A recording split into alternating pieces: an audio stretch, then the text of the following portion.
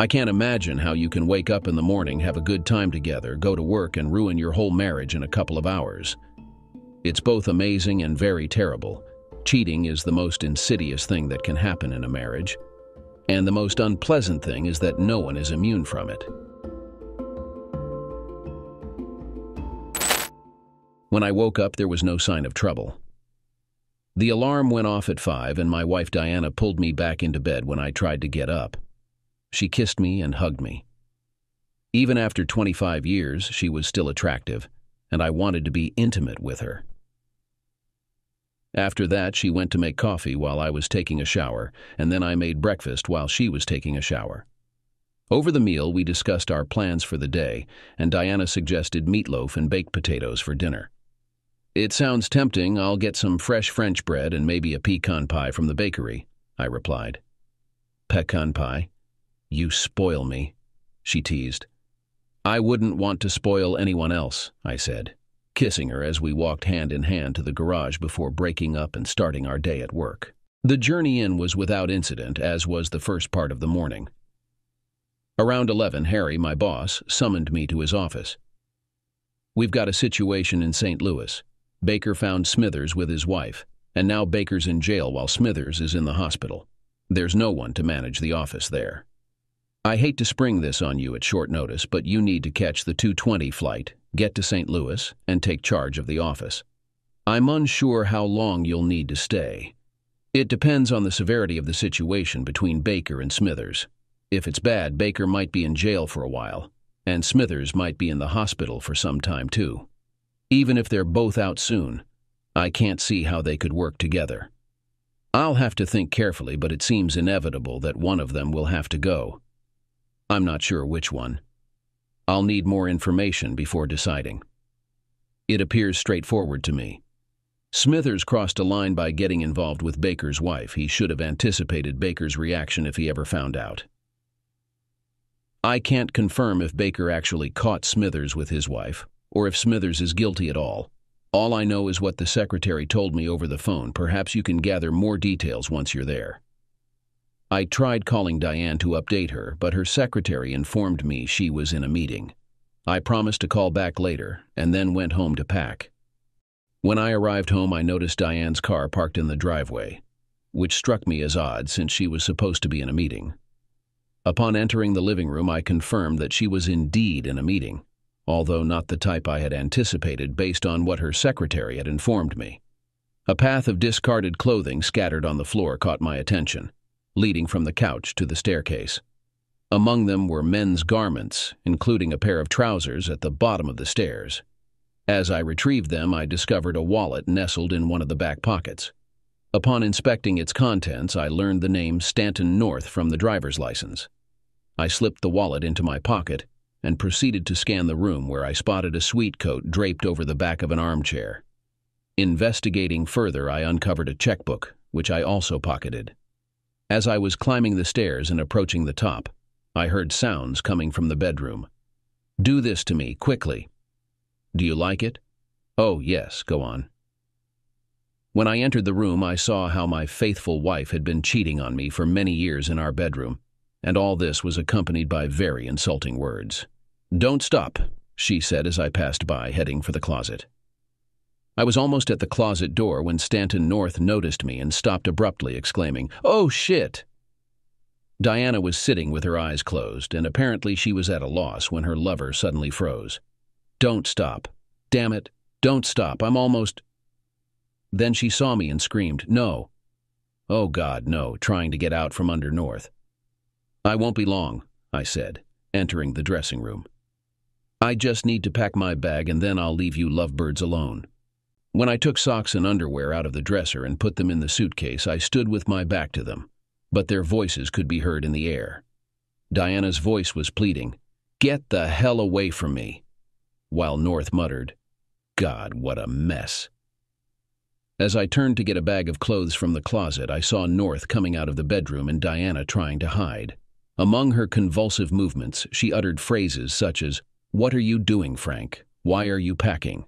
And meaningless explanations like, It's not what you think, Frank, and I can explain, Frank. Despite her protests, I continued to pack my things, ignoring Diana's requests to discuss it. The sound of the front door slamming made me wonder where North was going. Since Diana's car was the only one in the driveway, he must have come with her. Ignoring Diana's calls to talk, I continued to pack my things, ignoring her insistence that I listen and let her explain everything. I exited the house without uttering a single word since entering the bedroom and instructing them not to halt on my account. As I made my way to my car, Diane was shouting, Wait, Frank, don't leave, please talk to me. As I opened my car door, I scanned the surroundings but found no trace of Stanton North. Perhaps he was concealed somewhere, observing, and would return upon seeing me drive away. Diane was sprinting down the front walkway and almost reached for the passenger side door handle when I pulled away from the curb. It's a miracle that I reached the airport without causing harm to myself or anyone else. My mind was clearly not focused on driving. How did it happen? Why did it happen? I would have wagered everything I had that Diane and I were solid. Reflecting on our life together, I couldn't find a single thing that would have hinted at what I had just witnessed being even remotely possible. My God. How could she have done what she did to me when we woke up that morning and then engage in what I just witnessed? Diane and I crossed paths when my father got a promotion, and we had to relocate our family 1,500 miles away. The relocation was tough on me. I was separated from the friends I had grown up with and attended school with, and thrust into a new school where I didn't know anyone. During lunchtime, I found myself sitting alone at a table in the cafeteria, feeling sorry for myself, when the most stunning girl I had ever seen approached me. She sat down at the table and said, Hey there, new kid. Extending her hand across the table, she introduced herself. I'm Diane. It took me a moment to realize she was offering her hand for a shake. I accepted it and replied, Hello, Diane. I'm Frank. Where are you from, Frank? She inquired, and from there we spent the rest of lunch period getting acquainted. Diane had joined me at my table because she understood what I was going through. The same thing had happened to her the previous year. By the time the bell rang, we had made plans for her to give me a tour of the town. For six weeks, we had a serious relationship. We behaved like typical teenagers. As a hormone driven young man, I naturally wanted Diana to take our relationship to a new level. But she resisted. She was firm in her promise to her mother to marry a virgin.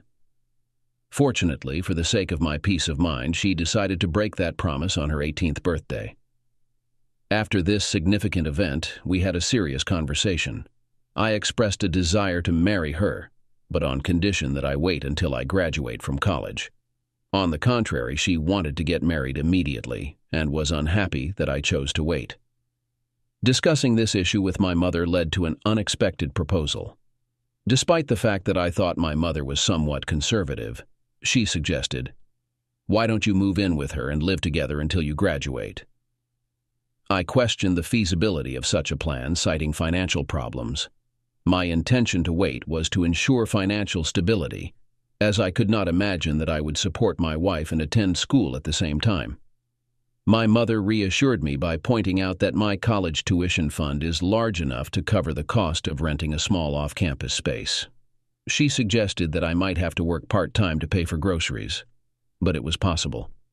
I mulled it over and then broached the subject with Diane. After discussing it thoroughly, we both agreed to take on part time jobs to make it happen. We searched and found a modest apartment within my budget. Then came the tough part breaking the news to her parents. Her mother was shocked that Diane hadn't upheld her promise to remain a virgin. She wept and sobbed while Diane's father hurled insults at me, both old and invented on the spot. He outright forbade Diane and me from proceeding and insisted she never see me again. Diane gestured for me to wait in the car and emerged ten minutes later with two suitcases.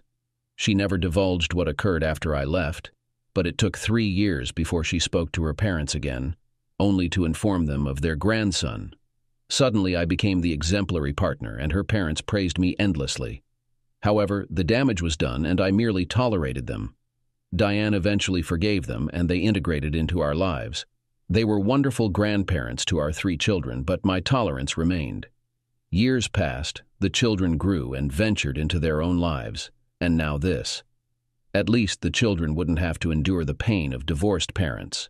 I arrived at the airport ahead of schedule, completed the check-in process, and then settled into one of the numerous coffee shops within the terminal to await the boarding announcement for my flight. Taking out North's wallet and checkbook, I began to sift through their contents.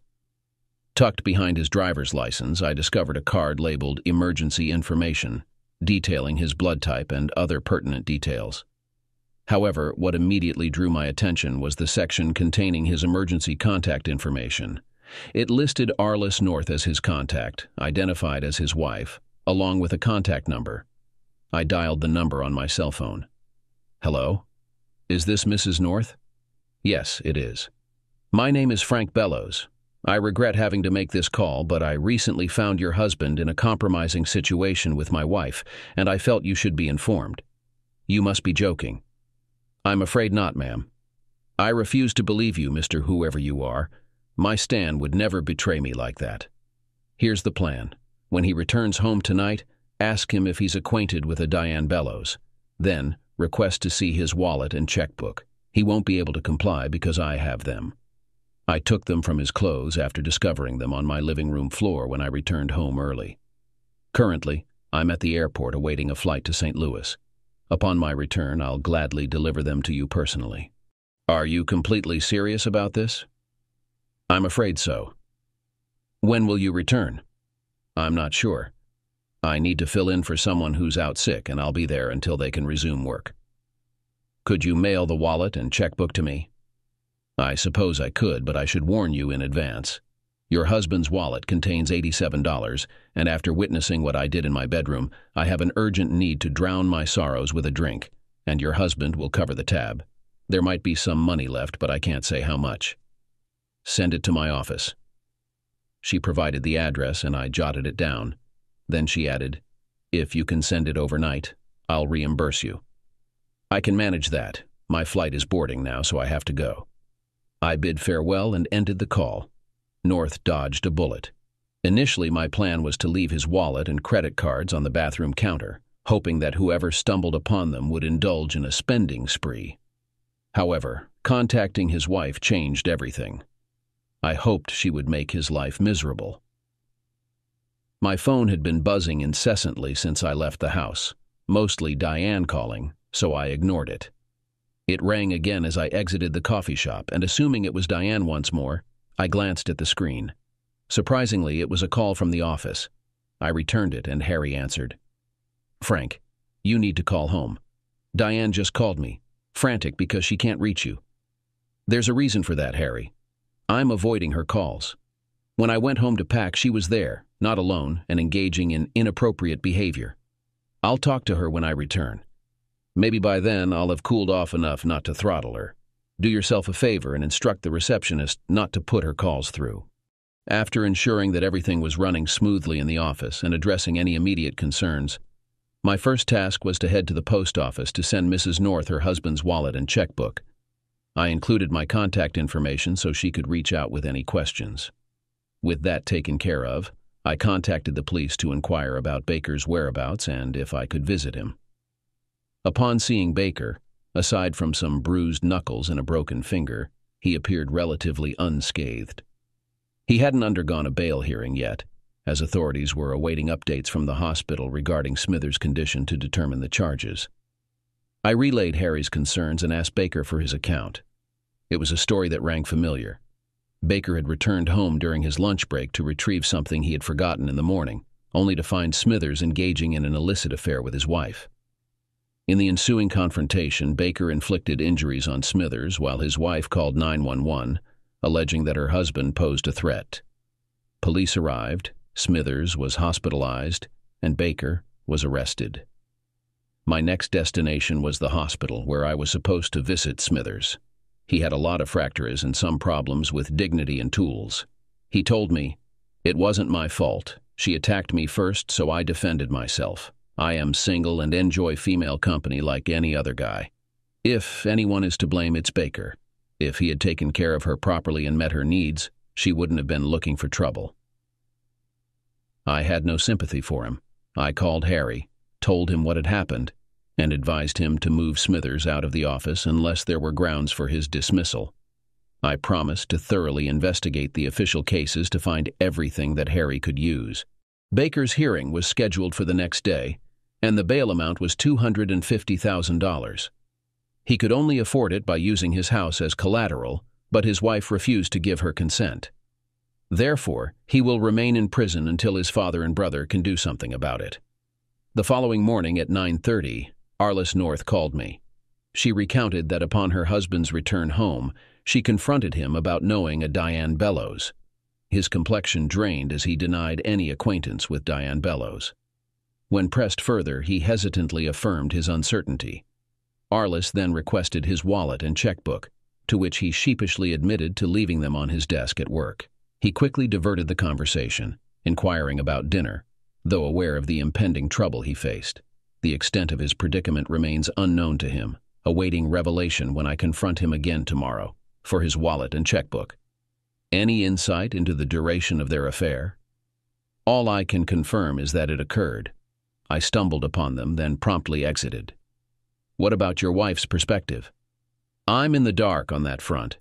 Haven't exchanged words with her since discovering them in the bedroom, and I won't until I return home. When you do speak with her, give me a call. I'd like to cross reference their accounts. Will do. I'm eager to hear both sides as well. During the day, I received a lot of calls from Diana, but I chose not to answer any of them. Harry must have informed her of my location in St. Louis, and she probably got the office number from the help desk. Dixie, our receptionist, informed me about a call on the third line, which turned out to belong to Diana. What do you want, Diana? We need to talk, Frank. I need to make it clear that what happened is not what you believe in at all. I'm not interested in talking to you right now. I'm still at the stage where I want to do something with you and then go after your lover with a gun in my hands. He's not my lover. Leave it alone, Diana. Don't call here anymore. We'll discuss this when I get home and not a minute earlier, I said before hanging up. In the afternoon, Baker's father called me and informed me that bail had been posted and Baker would be released the next morning. When I heard this news, I felt regret. As long as Baker remained in prison and Smithers was hospitalized, I didn't have to go home to face Diana. That evening, once again, I dined and had drinks at the North's place and returned to my room around seven. The phone rang, and since only Harry and Arliss North had my number, I picked it up. It was Arliss. After exchanging greetings, she updated me on her end of things. When he arrived home, I asked him again about his wallet and checkbook. He claimed they were missing from his office when he got there. He blamed someone from the night cleaning crew and said he'd file a complaint the next morning. I couldn't help but chuckle. How long does he think he can keep avoiding it? I have no idea, but I put an end to it. I confronted him about his deception. I made it clear that he knew he was caught when I brought up your wife and then asked for his wallet and checkbook. There was only one way I could have connected the dots, and he knew it.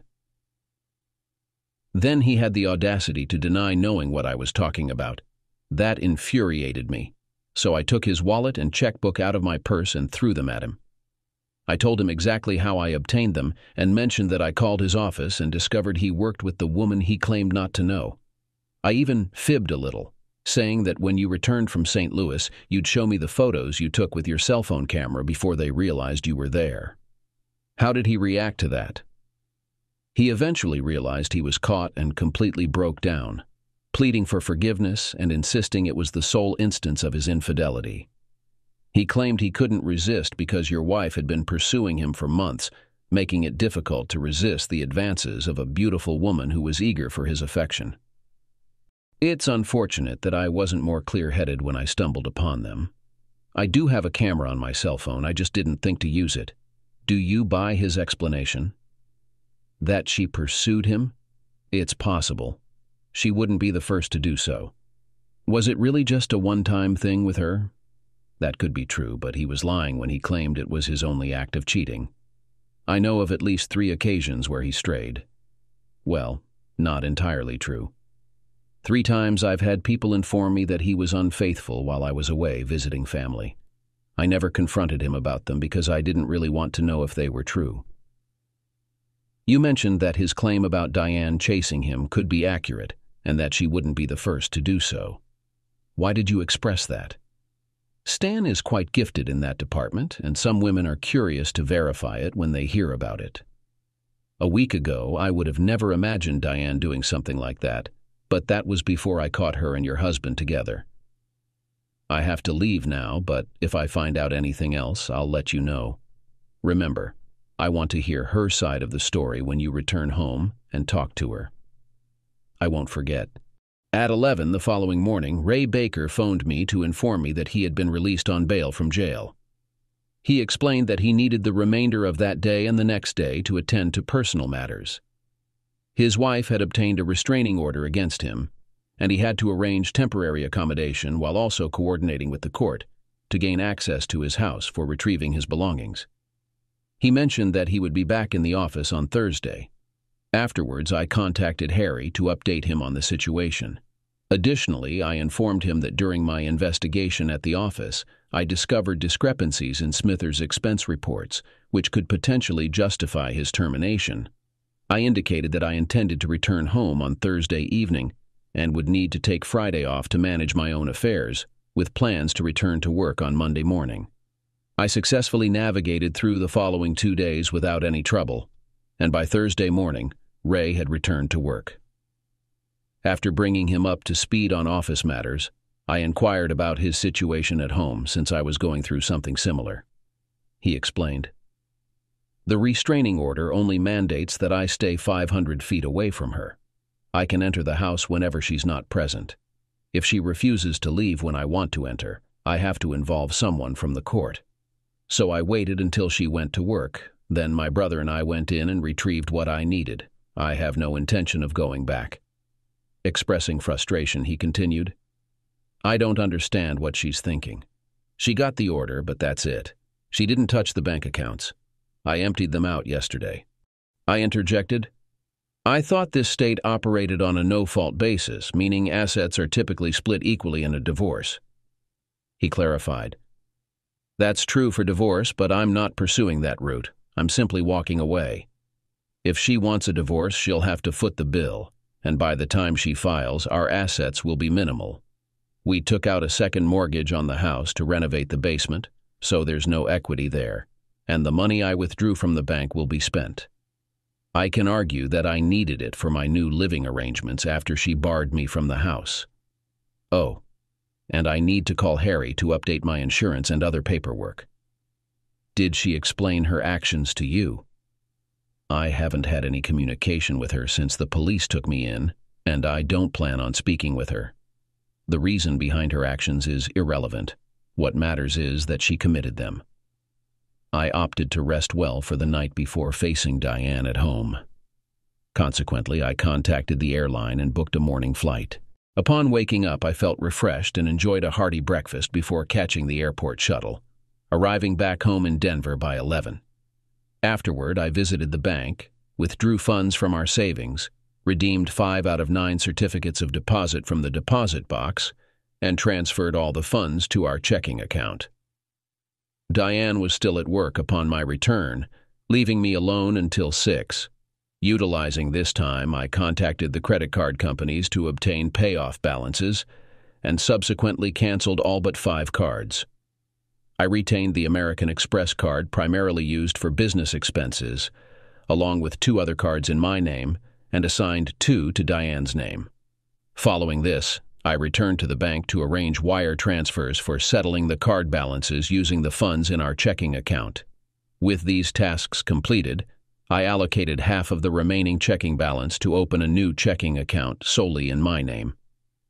Additionally, I secured another safe deposit box solely under my name, placing two of the remaining four CDs inside before heading back home. Having converted one of the kids' bedrooms into a home office and den, and maintaining the others as spare rooms for their occasional visits, I selected one of these spare bedrooms adjacent to the den for myself. After moving all my belongings, I was fully settled in by the time Diane returned home. I heard Diane enter and call out for me, Frank? Frank, where are you? Ignoring her, I listened as she moved through the house in search of me. Eventually, she made her way upstairs, and I kept my back turned as she entered. Frank? She called again, but I remained silent. Frank, please, we need to talk. Finally, facing her, I retorted, Where is it written that I have to engage in conversation with an unfaithful person? She flinched at my words, and then I continued, However, we do need to discuss our finances. Finances? Why? she questioned. Because your actions have necessitated changes, I replied. Please, go downstairs and take a seat at the kitchen table. I'll join you shortly.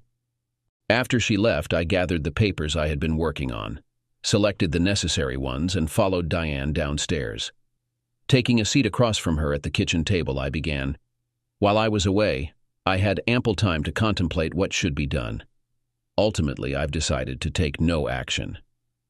When I conveyed that message, I noticed a brief moment of relief on her face, but it swiftly dissipated as I continued. By saying nothing, I mean that I intend to have minimal or no involvement with you. Frankly, I don't see the point in spending money on divorce attorneys, especially considering my age and the unlikelihood of another marriage in my future. Therefore, I have no need for a change in marital status.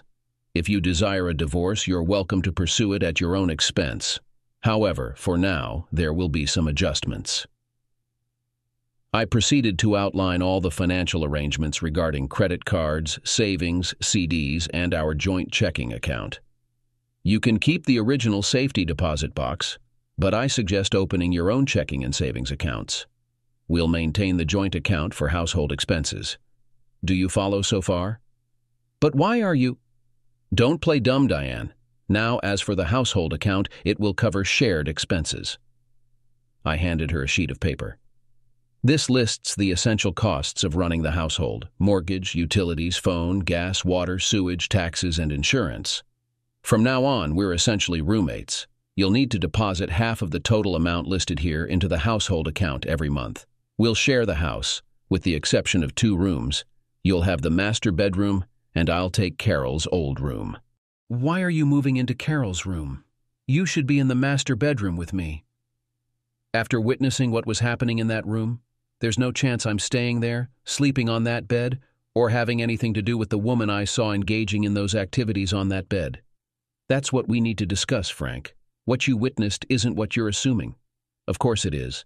I saw you with another man in our house on our bed. All right, Frank.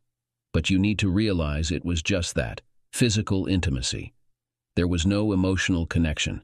It was merely satisfying my curiosity. I love you, Frank. I always have, and always will. My feelings for Stan were purely lustful, and it was a one-time occurrence driven by curiosity. If you hadn't come home, you wouldn't have known, and it wouldn't have happened again. But, Diane, that's the issue. I did return home, and I'm fully aware of what happened. Knowing changes everything. You betrayed my trust, which means I can't rely on you. Every word you utter now needs scrutiny to discern truth from falsehood. You claim to love me. Can love coexist with betrayal and disrespect? Can you claim love while bringing another man into our home and sharing our bed, the same bed where we would have slept together? How much love and respect did you show me by offering me the leftovers of another man, knowing we could have made love that night? No, Diane, I can't trust you anymore. You say it was a one-time mistake, never to be repeated. But can I believe you? I have only your assurance, yet your credibility is shattered. It could have been the tenth time already, with plans for more. Regardless, even if it were true, you still betrayed me. You violated the vows we took. What drove you to jeopardize our marriage? What curiosity was worth risking everything for? She looked away, saying, The size of his instrument. You've got to be kidding. The size of his instrument? Why on earth would you be interested in that? Some of the girls in the office met with him, and they wouldn't stop talking about how great it was. I heard all their stories, but I didn't pay much attention until he started showing interest in me. Even then, it took me a while before I started thinking about it. Are you saying that he was the first to show signs of attention? I suppose it was, but I didn't pay much attention to it at first. However, I liked the attention, and what kind of woman doesn't like feeling attractive? At my age, the attention of a man 10 years younger than me has significantly increased my self-esteem. I had lunch with him a couple of times and danced with him at office parties a couple of times. It was during the dance that I thought about the stories I had heard. Several times I felt him snuggle up to me, and he really seemed quite attractive to me. The more I thought about these stories, the more curious I became. You're the only man I've ever had a close relationship with. I wondered what another man might be like, especially one who was rumored to be as well off as Stan. He kept following me, and I kept thinking, until eventually my curiosity got the better of me. So you're saying that the other girls in the office were discussing Stan's prowess in bed? How many girls are we talking about? About seven of them. So Stan had a relationship with seven of them. That's what they claimed. Are seven of them just in your office? Stan seemed to be very promiscuous. Have you ever thought that someone who had so many partners could get an infection? Come on, Frank. If it were the case, these girls would most likely have been infected by him. And believe me, word of it would have spread instantly around the office. You may have an STI without any symptoms, Diana. Sometimes it can take months before symptoms appear. If I were you, I would think about getting tested. The point of all this, Frank, is that Stan didn't matter to me at all. There were no feelings of love between us, and I can't even say that it was a lot of sympathy. This is not the impression I got when I entered the room. You know that I enjoy intimacy, Frank, and you know how expressive I can be at times like this with you. So I made a little noise. I didn't have any special feelings for Stan. It was a mistake, Frank, a serious mistake, which I deeply regret. I can assure you that it won't happen again. I love you, Frankie, you know that. You can't give up 25 years of good relationships because of one wrong step. I'm not giving up on anything, Diana. You're the one who put everything at risk by bringing another man into our house and into our bed. With that, I got up from the kitchen table, went upstairs to the office, and immersed myself in paperwork. I'm a light sleeper, and that night, about an hour after I went to bed, I was woken up by the sound of the bedroom door opening. Diana entered quietly, closing the door softly behind her. Since it was summer, I was lying on top of a blanket. Diana leaned over me and wanted something more. She always made that impression on me, but it seemed like she was trying to win back my favor with this gesture. However, I surprised her by pushing her away. Leave me alone, Diana. I'm not interested in being someone's leftover. She left the room in tears. Eventually, after about 20 minutes, I fell asleep again, and no one bothered me for the rest of the night. The next morning, when I came downstairs after a shower, Diana was making coffee in the kitchen.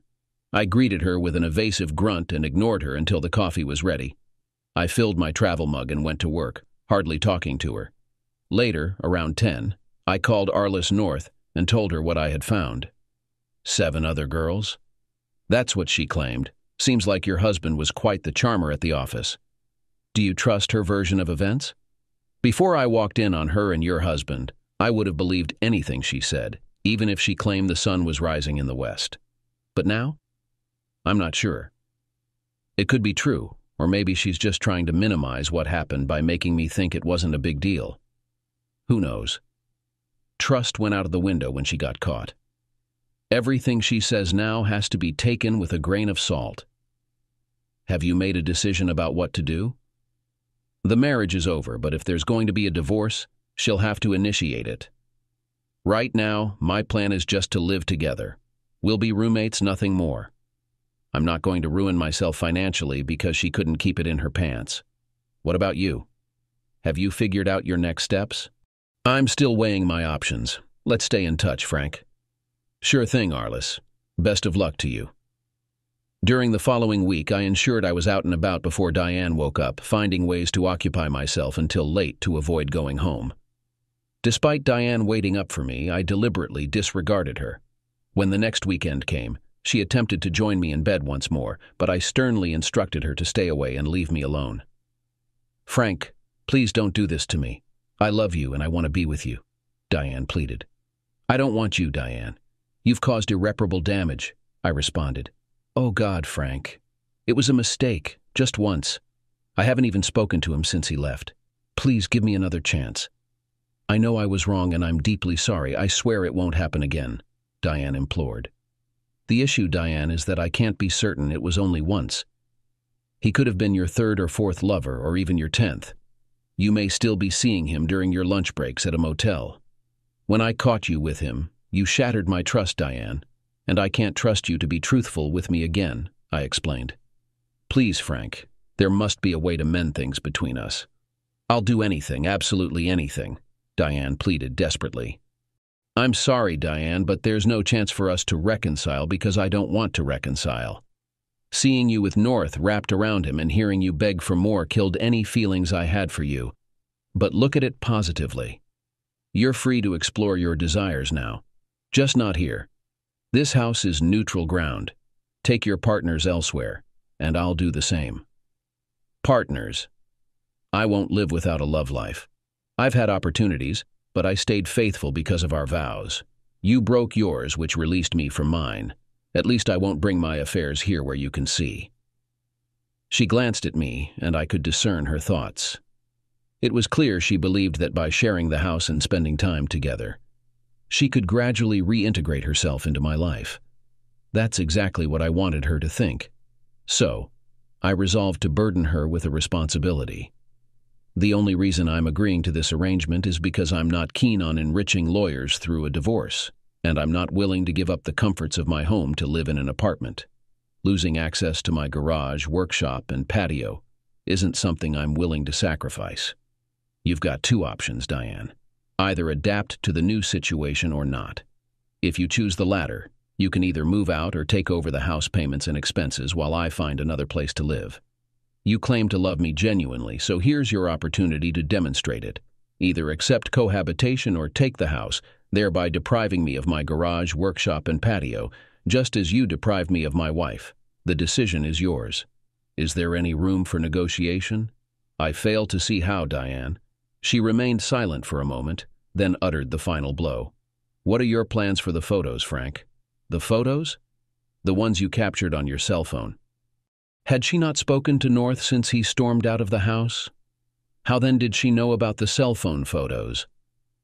That narrative was concocted by Arliss and relayed to her husband days after I caught Diane and North in our bedroom. No, I couldn't trust anything Diane said anymore. I couldn't bring myself to harm her physically, and ejecting her from the house would bring more trouble than punishment. However, subjecting her to my silent treatment would inflict a mental torment upon her, which was the best I could hope for. I knew she still harbored feelings for me, clinging to the slim chance of redemption. But that was never going to happen. My emotions for her died the moment I saw her with North. The longer she held on to hope, the longer my revenge would endure. With my vengeance against Diane settled, I shifted my focus to Stanton North. The findings from the private detectives confirmed my suspicions. Despite being caught by me and his wife discovering his infidelity, it hadn't deterred him in the slightest. He was still engaging in extramarital affairs with five women, in addition to his wife. During the three weeks I had the private investigators tracking him, he hadn't interacted with Diane, but he was involved with two of her colleagues. One of them, Mary Ellen Bingham, had a husband who worked the afternoon shift. Every Tuesday and Thursday after work, North would visit Mary Ellen at her home on Sunflower Way, staying for two hours before leaving. Glancing at my watch, I realized that if he stuck to his routine, he would be leaving the house in ten minutes.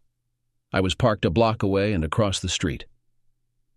I stepped out of my car and approached the Bingham residence, circling around behind the garage.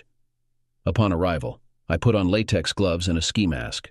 Mary Ellen had a three-car garage, after North's visit, he drove into the garage, parked, and quickly closed the door so that the neighbors would not chat about Mary Ellen's guest. I wouldn't want the rumors to get to Mary Ellen's husband, would I? Using a small tire iron, I broke the lock on the back door of the garage and waited for North to appear. When the door leading to the house opened, North went outside, but was met by the gaze of Mary Ellen, who watched him leave. North convulsed on the garage floor from the discharge of a 50,000 volt stun gun. Before Mary Ellen could express her shock, I spoke in what I hoped was not a very serious tone. If you make a sound or contact the authorities, your husband will discover everything. It's best for you to return inside and act as though nothing is happening out here. I won't kill him, but rest assured, another husband he's betrayed will get justice. She recoiled and shut the door. Mary Ellen recognized me from the gatherings Diane had taken me to, but I relied on the ski mask and altered voice to conceal my identity from her. I couldn't risk her calling the police, so I had to act quickly. As soon as he was out of his pants, I took my revenge. He was proud of his possessions, wasn't he? Well, it was worth paying dearly for that. I did a lot of damage to his instrument. I landed a couple more punches before grabbing my wallet and checkbook and quickly running away. There were no sirens. It seems Mary Ellen did not alert the authorities. As I drove away, I considered my actions. Unsure of the extent of the damage caused by the cattle chase, I enjoyed every scream North heard. I never found out how things ended up with Mary Ellen. Had she managed to remove North unnoticed, leaving her husband in the dark? Or did she have to seek medical help for North, which led to a difficult explanation with her husband? Still wearing latex gloves, I put my wallet and checkbook in a prepared package and sent it to Arliss at her office. No note was attached, and I would deny that I knew about it.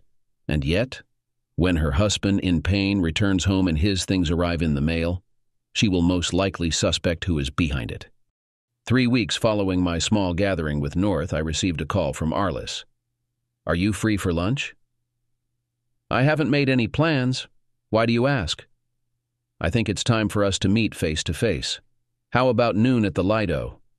I'll be the red haired woman nervously scanning every man who enters, trying to figure out which one is you. Noon works for me. I didn't see her nervously scanning faces, but she was easy to spot as the only redhead in the place sitting alone. North was a complete idiot to be cheating on her. She was stunning. I approached her table. Mrs. North? No, Frank, it's Arliss. You haven't called me Mrs. North since our first phone call. I took a seat across from her and asked, May I inquire what led you to invite me to lunch? I just wanted to get a good look at the man who keeps messing up my life. I'm the one messing up your life. How so?